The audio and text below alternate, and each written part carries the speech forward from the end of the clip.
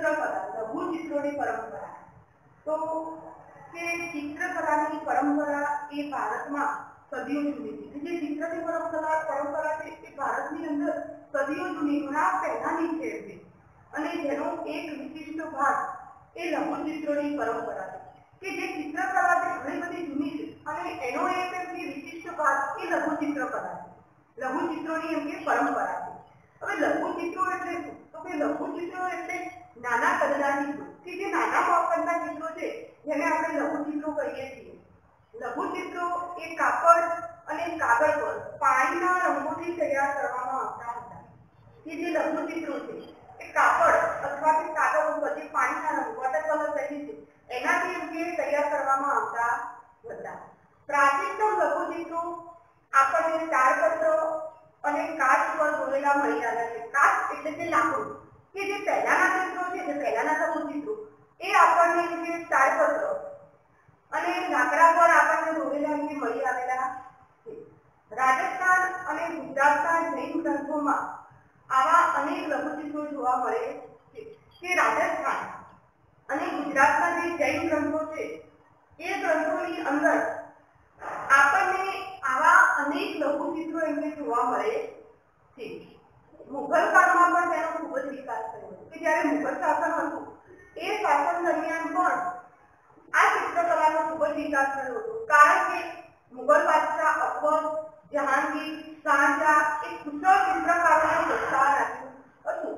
તો કે મુઘલ કાળ દરમિયાન લઘુચિત્રો કરવાની પરંપરાનો ખૂબ જ વિકાસ થયો હતો. કારણ કે એ સમયના જે મુઘલ બાદશાહ હતા, અકબર, જહાંગીર અને શાહજહાં, એમને જે સારા એવા ચિત્રકારો હતા, એમને પ્રોત્સાહન આપી.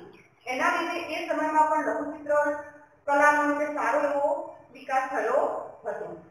અને એમને ચિત્ર શાળાઓની સ્થાપના પણ કરાવી હતી. જે મુઘલ શાસકો હતા, એમને એમ કે ચિત્ર માટે ચિત્ર શાળાની એમ કે સ્થાપના કરાવી હતી. પછી મહાભારત અને પંચતંત્ર જેવા ગ્રંથો તેમજ અકબરનામા માં પણ એમને ચિત્રકારો ખૂબ જ સુંદર લઘુચિત્રો દોર્યા છે. કે મહાભારત અને જે પંચતંત્ર વિશે ગ્રંથ છે, પંચતંત્રની વાર્તાઓ, એ ગ્રંથોની અંદર પણ કે, એ ગ્રંથોની અંદર પણ સારા એવા સુંદર લઘુચિત્રો દોરેલા છે. આ સિવાય જે અકબરનામા નું જે ગ્રંથ છે, એની અંદર પણ સારા એવા સુંદર લઘુચિત્ર એમને દોરેલા જોવા મળે છે. પછી એની અંદર આપણે જોઈશું તો કે રાજ દરબારના દ્રશ્યો, યુદ્ધના દ્રશ્યો શિકારના દ્રશ્યો અને સામાજિક જીવનના દ્રશ્યો એ લઘુચિત્રોના વિષય તરીકે રહેતા હતા. તો લઘુચિત્રના વિષય તરીકે શું રહેતું કયા વિષયો હતા એક શેના ચિત્ર દોરવાની આવતા તો કે લઘુચિત્રની અંદર એમ જોઈએ તો કે રાજ દરબારના દ્રશ્યો જે રાજ દરબારમાં ભરાતો હોય એનું દ્રશ્યો હોય પછી યુદ્ધના દ્રશ્યો હોય શિકારીના દ્રશ્યો હોય આ સિવાય સામાજિક જીવનના જે દ્રશ્યો હતા એ લઘુચિત્રોના વિષય તરીકે એમને પસંદ કરવામાં આવતા હતા એટલે કે એના વિશેના ચિત્રો દોરવામાં આવતા હતા અને આવા ચિત્રો દોરી અને એકબીજાને એમની ભેટમાં આપવામાં આવતા હતા તેમજ બાદશાહ અને તેમના નજીકના લોકો જ એ ચિત્રને જોઈ શકતા હતા કે આ જે ચિત્ર હતા રાજદાદાના દ્રશ્યો યુદ્ધના દ્રશ્યો શિકારના દ્રશ્યો અને જે સામાજિક જીવનના દ્રશ્યો હતા એના એના વિષય પર અમે લઘુચિત્રો દોરવામાં આવતા હતા અને આ ચિત્રો એકબીજાને અમને ફેસબુકમાં આપવામાં આવતા હતા. અને આ ચિત્રો હતા, એ ફક્ત કોણ જોઈ શકતું હતું? તો કે બાદશાહ, રાજા હતો એ અને તેના જે નજીકના લોકો હતા એ જ લોકો આ ચિત્ર જોઈ શકતા હતા. ખંભાતના શાંતિનાથ ભંડારમાં અને પાટણના શ્રી હેમચંદ્રાચાર્ય જૈન જ્ઞાન ભંડારમાં સચવાયેલા હસ્તતત્વોમાં લઘુચિત્રો આપણને જોવા મળે છે.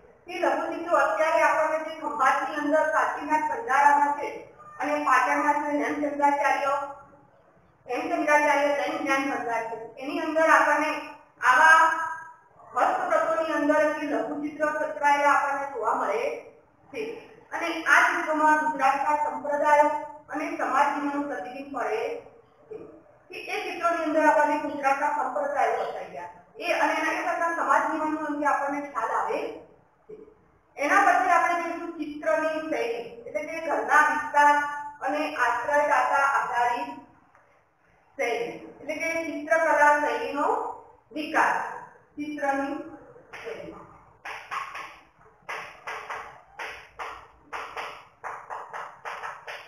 ચિત્રકલાનો વિકાસ કેવી રીતના થયો હતો? એ જોઈએ ચિત્રકલા શૈલીનો વિકાસ. તો કે જોઈએ કે મુઘલ સામ્રાજ્યના પતન બાદ ક્ષત્રિય રાજ્યોએ ચિત્રકલાને આશ્રય આપ્યો કે મુઘલ સામ્રાજ્યનું જ્યારે પતન થયું, એના પતન પછી રજપૂત યુગ દરમિયાન જે ક્ષત્રિય રાજ્યો હતા, એમને એમને ચિત્રકલાને આશ્રય આપ્યો હતો. જેમાં રાજસ્થાન અને દક્ષિણના રાજ્યો મુખ્ય. કે એની અંદર આપણે જોઈએ તો કે રાજસ્થાન અને દક્ષિણના જે રાજ્યો હતા, એ મુખ્ય હતા.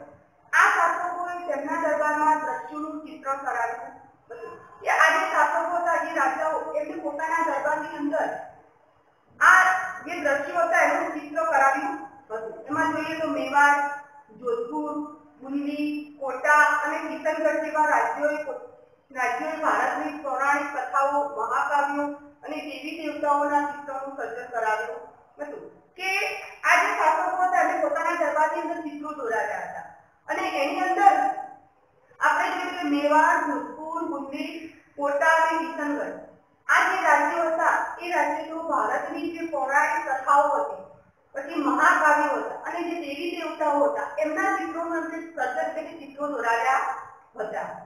સત્તરમી સદી પછીના વર્ષોમાં હિમાચલ પ્રદેશમાં પણ લઘુ ચિત્રકલાનો ખાસો એવો વિકાસ થયો, જેને બસો વલી શૈલી કહેવામાં આવે કે સત્તરમી સદી પછીના જે વર્ષો હતા, એ વર્ષોની અંદર હિમાચલ પ્રદેશની અંદર પણ લઘુચિત્ર કલાનો અંગે વિકાસ થયો હતો. સત્તરમી સદી પછી હિમાચલ પ્રદેશની અંદર એમની લઘુ ચિત્રકલાનો વિકાસ થયો હતો અને એ જે વિકાસ થયો હતો એને આપણે બસો હલી શૈલી કહેવામાં આવે છે. કઈ શૈલી તો કે બસો હલી શૈલી કહેવામાં આવે છે.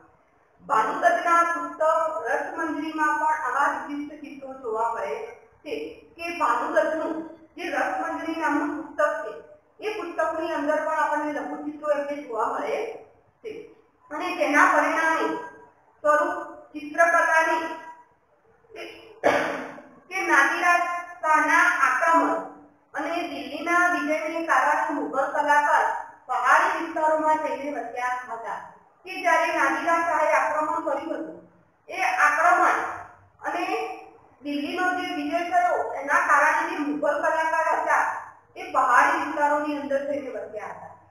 અને એના પરિણામ સ્વરૂપે ચિત્રકલાની કાગડા શૈલીનો વિકાસ થયો કે જ્યારે નાદિરા શાહે આક્રમણ કર્યું અને દિલ્હીનો વિજય થયો એના કારણે જે મુઘલ કલાકારો હતા એ પહાડી વિસ્તારોમાં જઈને વસ્યા હતા.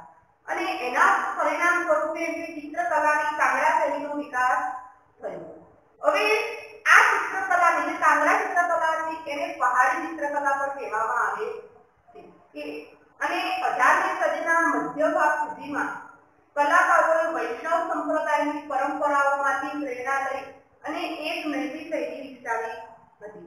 કે અઢારમી સદીના મધ્ય ભાગે કે અઢારમી સદીના વચ્ચોવચ્ચના ભાગ, વચ્ચેના સમયમાં કે જે કલાકારો હતા એમણે વૈષ્ણવ સંપ્રદાયના પરંપરાઓની પ્રેરણા લઈ અને એક નવી શૈલી વિકસાવી કે વાદળી અને લીલા રંગની સાથે કોમળ રંગોનો ઉપયોગ અને વિષયોનું કાર્યાત્મક નિરૂપણ એ જ કાગડા શૈલીની વિશેષતા હતી.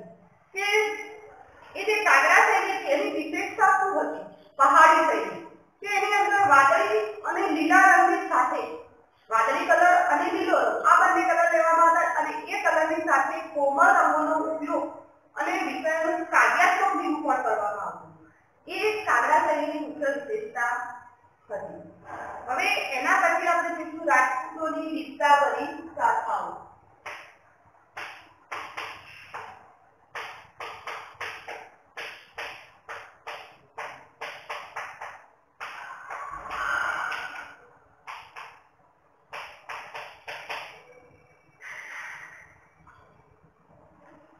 કે રાજપૂતોની વિસ્તાવરી ગાથાઓ એ આપણે જોઈએ કે બ્રિટિશ શાસકો એ આજના રાજસ્થાનને રાજપુતાના તરીકે ઓળખતા હતા.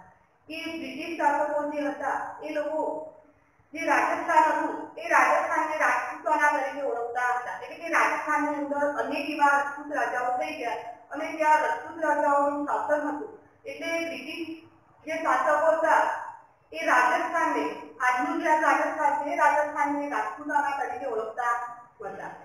રાજપૂતોએ રાજસ્થાનમાં એક વિશિષ્ટ સંસ્કૃતિનું સર્જન કર્યું હતું. કે જે રાજપૂતો હતા, એમણે રાજસ્થાનની અંદર એક વિશિષ્ટ પ્રકારની સંસ્કૃતિનું સર્જન કર્યું હતું.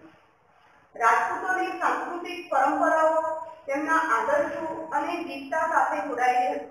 કે આ જે રાજપૂતોની સંસ્કૃતિ હતી, એ અમને એમની પરંપરાઓ, તેમના આદર્શો અને જે એમની વીરતા હતી, એના સાથે જોડાયેલી હતી. કે એમને જે વિજય મળ્યા એવા વીર એના પરથી આ સંસ્કૃતિ જોડાયેલી જોવા મળે.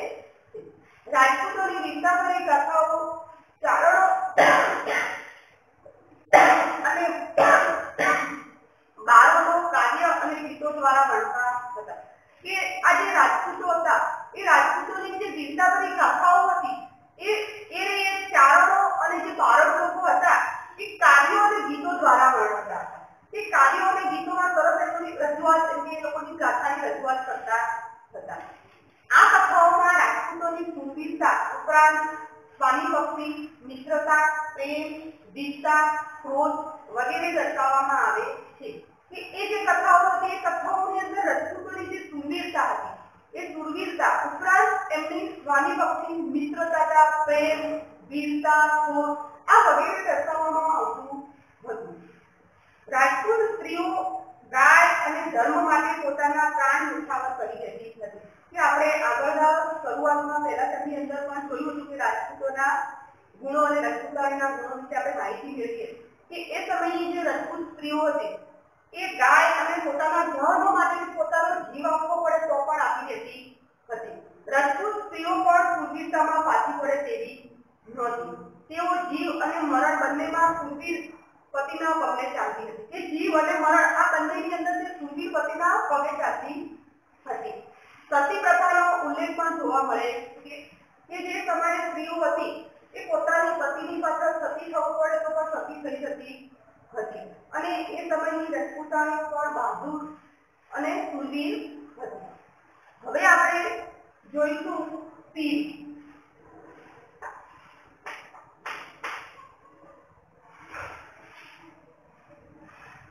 કે સુફીવાદના મતે ધર્મ એટલે ઈશ્વર પ્રત્યેનો પ્રેમ અને માનવતાની સેવા.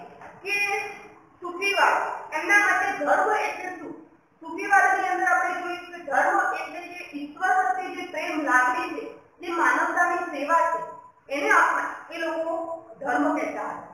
સમયાંતરે સુફી જુદા જુદા સિલસિલામાં વહેંચાઈ ગયું અમુક સમય જતો સફળ જતા આ સુફીવાદ બાબતો એ જુદા જુદા શ્રેણીની અંદર વહેંચાઈ ગયા અને દરેક શ્રેણીના પીર હતા પીર એટલે કે માર્ગદર્શક કે આ દરેક જે શ્રેણી હતી જે દરેક સિલસિલા હતા એ શ્રેણી એનું એક માર્ગદર્શન હતા જેને પીર એ પીર કહેવામાં આવતા જે ખ્વાજા કે શેઠ તરીકે પણ ઓળખાતા હતા. અને પીરના શિષ્યો એ મુરીદ તરીકે ઓળખાતા તો કે કે જે અમુક સમય હતો એ સમય પ્રમાણે સુખી હતું, એ જુદી જુદી સિલસિલા એટલે કે શ્રેણીની અંદર વહેંચાઈ જાય છે. અને દરેક સિલસિલાના એટલે દરેક શ્રેણીના એક પીર હતા પીર એટલે કે દરેક શ્રેણી હતી, એના એક માર્ગદર્શક હતા. અને એમને આપણે ખ્વાજા કે શેખ તરીકે પણ ઓળખતા હતા. અને આ જે પીર હતા, એ પીરના શિષ્યો, એ મુરીદ તરીકે ઓળખાતા હતા. અને ભારતીય પીર પરંપરા સંકળાયેલી અગ્રણીય સૂફી સંતોના અજમેરના પ્રસિદ્ધ સૂફી સંત મોઇનુદ્દીન ચિસ્તીનો સમાવેશ થાય છે. કે આ ભારતની જે પીર પરંપરા સંકળાયેલી છે, એની અંદર અગ્રણીય સૂફી સંતો હતા. એની અંદર અજમેરના અજમેરના પ્રસિદ્ધ સૂફી સંત મોઇનુદ્દીન ચિસ્તીનો સમાવેશ થાય છે. અને એમણે ભારતની અંદર ચિશ્તી સંપ્રદાયની શરૂઆત કરી હતી. તો કે ચિશ્તી સંપ્રદાયની શરૂઆત અજમેરના પ્રસિદ્ધ સુફી સંત મૈનુદ્દીન ચિશ્તીએ કરી હતી અને તેઓ ખ્વાજા અને ઓલિયાથી પ્રચલિત થયા હતા.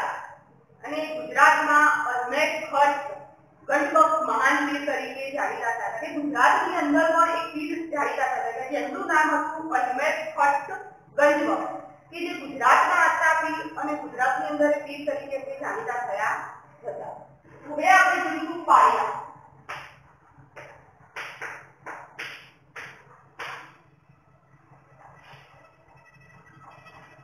એટલે શું? પહેલા તો એટલે કે દુશ્મનો સામે પાર ઊભા રહીને યુદ્ધ કે લડાઈ માટે શહીદ બનનાર વીર યોદ્ધાની યાદમાં જે સ્મારક કે ખાતરી ઊભી કરવામાં આવે છે, તેને પાલિયા કહેવામાં આવે છે. કે દુશ્મનો સામે પાર ઊભી યુદ્ધની અંદર છે કે લડાઈની અંદર કોઈ વીર શહીદ થઈ જાય અને એ વીર યોદ્ધાની યાદની અંદર કોઈ એ જે જગ્યાએ શહીદ થયો હોય છે, એ જગ્યાએ સ્મારક એનું અથવા ખાંભી ઊભી કરવામાં આવે છે. જેને આપણે પાળિયા કહીએ છીએ પાળિયા એ ગુજરાતનું વિશિષ્ટ સ્થાપત્ય છે કે દરેક પાળિયાની વચમાં તેની તિથિ પ્રમાણે પૂજા અર્ચના પણ કરવામાં આવે છે કે આ પાયામાં જે વ્યક્તિ શહીદ થયો હોય, જે શહીદ દિવસે જે વીર યોદ્ધા એની એ શહીદ થયો એ શહીદ દિવસના દિવસે એ પાયા આગળ એની તિથિ પ્રમાણે પૂજા અર્ચના પણ કરવામાં આવે છે.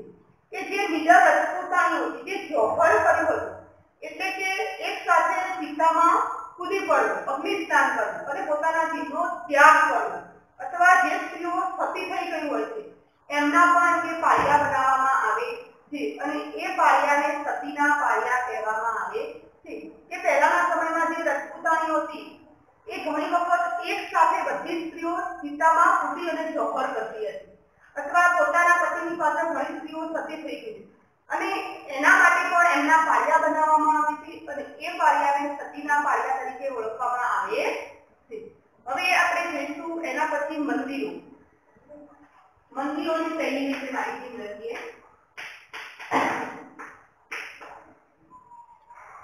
કે ભારતીય મંદિર સ્થાપત્યની શરૂઆત મૌર્ય કાળમાં થઈ હતી કે ભારતીય મંદિર સ્થાપત્યની શરૂઆત એ મૌર્ય કાળ દરમિયાન થઈ હતી અને તેનો વિકાસ ગુપ્ત કાળ દરમિયાન એને વેગ મળ્યો કે મંદિરો બનાવવાની મંદિરોના જે સ્થાપત્ય છે એ બનાવવાની શરૂઆત મૌર્ય કાળની અંદર થઈ હતી અને ગુપ્ત યુગ દરમિયાન એનો ખૂબ જ એવો વેગ મળ્યો હતો અને ગુપ્ત કાલે સંરચનાત્મક મંદિરોના કાળ પણ કહેવામાં આવે છે કે જે ગુપ્ત યુગ હતો, એ ગુપ્ત યુગના ગુપ્ત સમયને જે સંરચનાત્મક મંદિરોનો કાળ પણ કહેવામાં આવે છે. અને મંદિરના સ્થાપત્યની શૈલીનો મુખ્ય ત્રણ પ્રકાર છે કે જે આ મંદિરોના સ્થાપત્યની શૈલી હતી, એ શૈલીના મુખ્ય ત્રણ પ્રકારો કે નાગર શૈલી, દ્રવિડ શૈલી અને વૈષ્ણવ શૈલી. ત્રણ પ્રકારો એક નાગર શૈલી. બીજી દ્રવિડ શૈલી.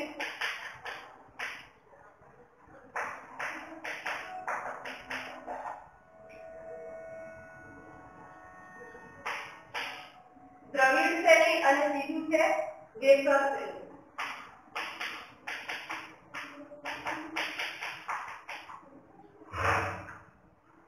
તો પહેલા આપણે જોઈએ નાગર શૈલી એ ઈસવીસન પાંચમી સદીના પછી ભારતમાં ઉત્તર વાસી માંડી, ઉત્તર વાહી એટલે કે હિમાલય.